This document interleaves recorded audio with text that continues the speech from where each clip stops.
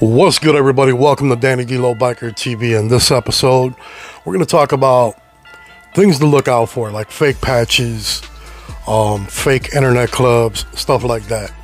We're going to talk about that right after this.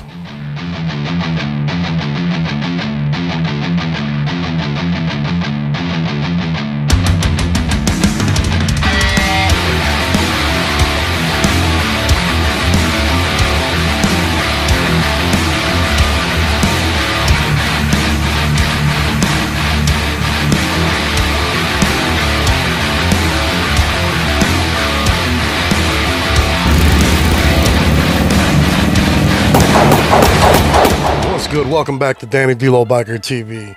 So let's talk about you know the fake patches, the internet clubs, the the things to look out for. That just pretty much the don'ts that you just don't want to do being a biker. All right, you know there's there's throngs of patches we could go through um, that you shouldn't wear. You know it just causes attention, like side rockers.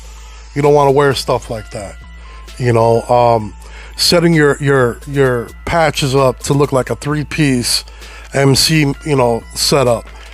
It's not a good look, man. It really ain't. It's it's disrespectful to the clubs, and um, it's gonna get you attention, you know, even by police, you know. And if you don't want that type of attention, you shouldn't do it. You know what I mean? You know, Black Label Society, the Sons of Anarchy stuff, you know, all of that stuff's gonna bring attention to you that you probably don't want as an independent biker.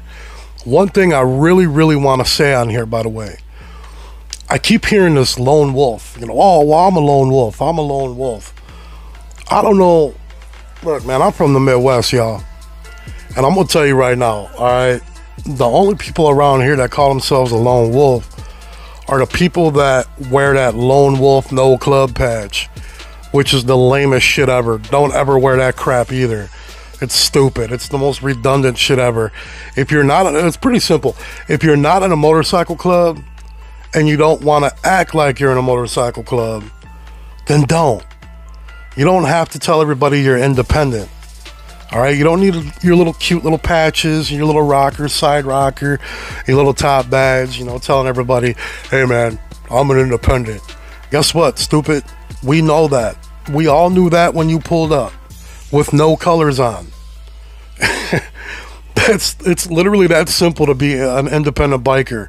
Don't put no shit on. Don't put no colors on, and you'll be good. I mean, you guys kill me sometimes with this monarchy that that you guys pull, man. Like, oh, I just want everybody to know I'm independent. Man, bro, stupid. They they knew. They know the minute you pull up and you ain't got no MC cube, you are not in a club. You're an independent biker. It is literally that simple. So stop this bullshit, guys. And stop listening to some of these creators on here, too, that, you know, tell you, you know, to do stuff like that. You know, I've seen a few out there. You know, they're smaller guys, but, you know, I've seen a few like, hey, man, you know, if you don't want anybody to think you're in a club, you know, just put an independent patch or, or your lone wolf patch. No, stupid. Don't do it. Do, don't do any of that.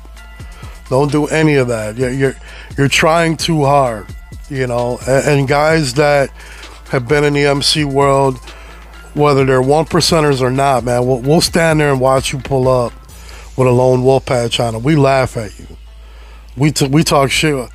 Sometimes we might even mess with you because that's how lame you look and that's how stupid it is to be wearing that crap. So quit calling yourselves a lone wolf. You're not a lone wolf. You're just an independent biker. That's it. You're just a biker, man. You're out here riding your bike, which to me, nowadays is probably the best way to go. You know, you can build brotherhood and bonds with your friends and bros that ride. You can build that and ride around with your guys every night, go out bar hopping, go out partying, go out riding, go on trips, do stuff like that. And you don't have to wear no colors, man. You ain't in that politics and, and BS. You know what I'm saying? You ain't got to worry about getting shot off your motorcycle or run over by some asshole in a F 150. You know, I mean, don't get me wrong, as bikers, we got to worry about that every day, but you know what I'm saying? You don't have to worry about the BS, man. You can ride your bikes, hang out with your brothers, and have a good time. And to me, that's what it's all about at the end of the day. That's even what the MC world used to be about. Nowadays, I don't know, it's kind of turning into uh, kind of turning into legitimately anarchy on the street. You know what I mean? So that's things to look for. The other thing to look for is, you know, these internet clubs. All right, we've all seen them. You know, they pop up via internet. Look, guys, I can't express this enough, man. You are not in a legitimate motorcycle club unless one of your brothers draped your colors over your back or put them on for you. All right, it's it's simple. No legitimate motorcycle club sends you their colors through the mail. All right, just it don't work that way. And why people really think that that's cool and that that's just like this new way of joining a club now. It's beyond me, man. It, it, really truly is. I, I don't know, man. Maybe I'm just too old school in my mind when it comes to certain things, man. But no, you are not in a legitimate motorcycle club unless you earn them colors with a brother. All right, they don't get mailed to you. You know, the guy that drapes your colors over your back shouldn't be a FedEx driver, plain and simple, or a U- UPS driver. I mean, come on, man. Let, let's stop the bullshit. All right, which brings me to the point of the hour. Now, I've had throngs of you throughout the years of my career on YouTube and TikTok asking me what did I think about this little cholo dude that runs around the internet, you know, Mr. OnePercenter.com over there. I've had throngs of you ask me what do I think about him, and then recently I did a little spoof on TikTok, and he clapped back on YouTube, and um, I've had a, a ton of you guys email me, texting me, yo man, did you see that video? Sending me links, and um, you know, I don't have a lot to say about that video. What I'm gonna, what I will say first of all is it's cute. It really is. Um, see, that's the difference between a real one percenter and some guy that's trying to make everybody believe that he's real. I don't have to explain myself. it's that simple. It's legitimately that simple. I've got better shit to do than the channel bang with some punk kid that thinks he's somebody. You know, he's a great writer. I will point that out. He's a great writer. He writes a bunch of stuff in books. He's written a couple books. You should check him out. He's written stuff on the internet and things like that.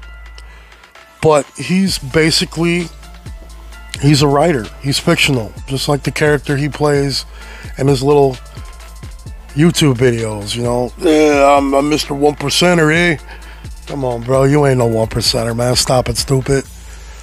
See, my only problem with these with with that guy is, you know, you can't come on the internet and preach old school one percenter stuff and then turn around and slap one percenters in the face.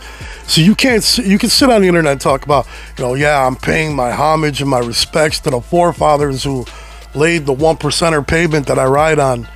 Well, if you were doing that, you would get a blessing.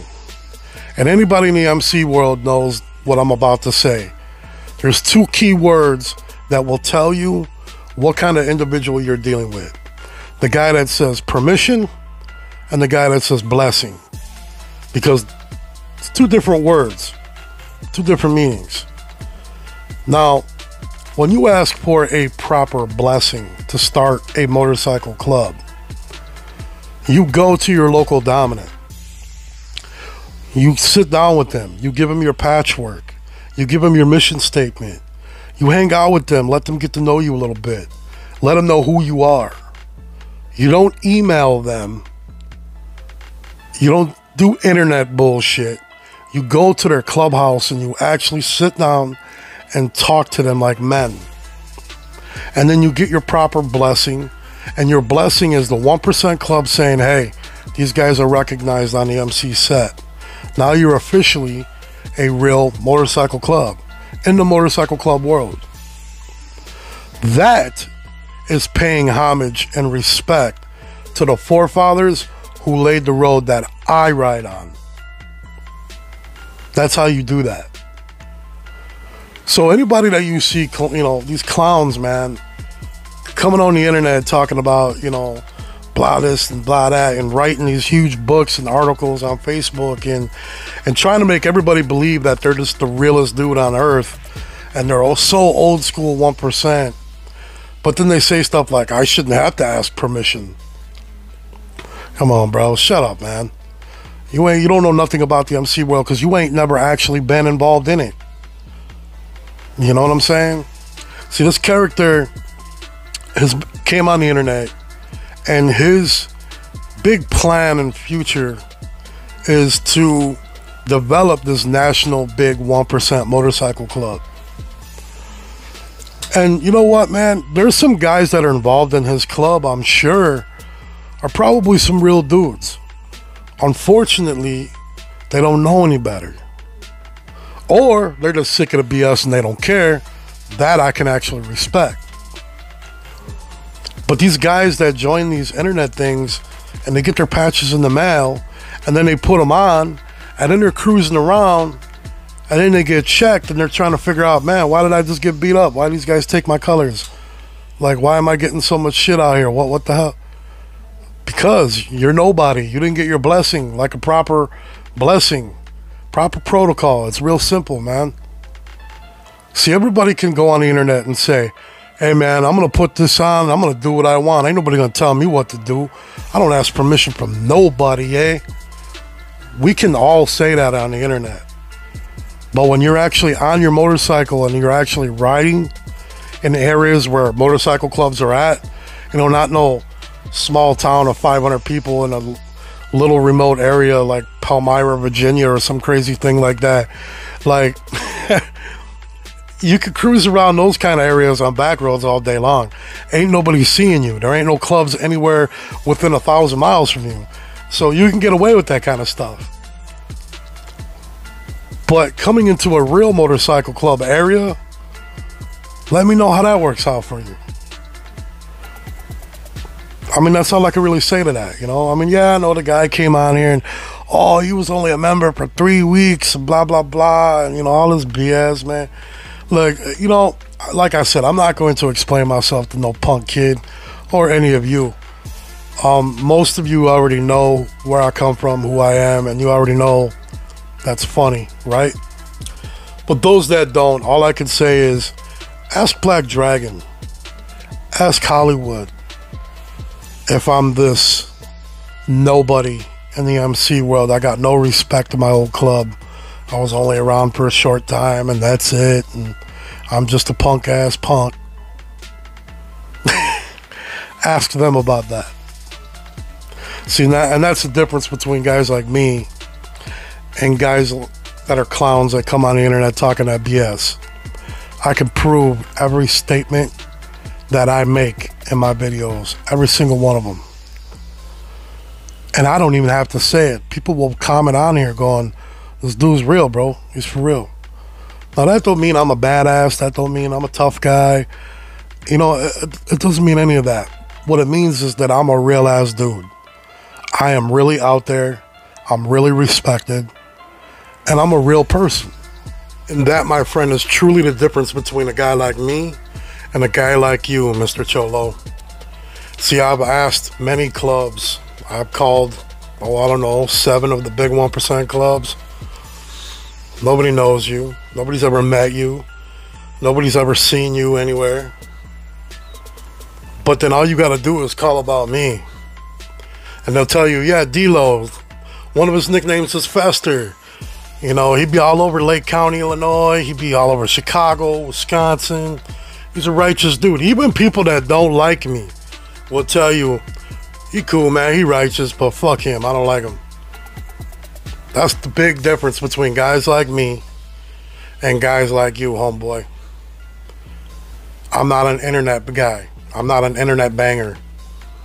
The work I put in in this world was on the streets. I didn't email anybody. You feel me? So hate away, homeboy. I'm not just some internet character. Sorry. I know a lot of people wanted me to go back and forth, and I know he was expecting some big statement, threatening, you know, like he did. No, you're cute to me. You're amusing. You're a clown. And you're irrelevant to guys like me. So until the next episode, y'all, keep it real and keep it 100. I'll let y'all, man. Peace.